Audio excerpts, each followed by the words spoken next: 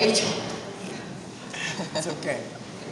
On this very day, December 24th, 1818, 200 years ago, Father Joseph Mohr, assistant pastor of St. Nicholas Church, had words he wanted set to music for midnight mass.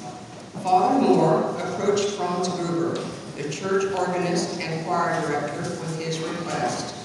By that evening, Gruber had created a melody for two voices, choir, and guitar accompaniment. That evening, at midnight mass, Father Mohr sang tenor and Gruber sang bass. The church was filled with words no one had ever heard. The beautiful melody and simple words carried a profound message. The world sleeps as salvation comes from heaven's golden light. All power of fatherly love poured forth, witnessed only by the intimate holy pair, Joseph and the Blessed Mother. Silent night touches the soul of man and opens emotions that are often neglected in everyday life.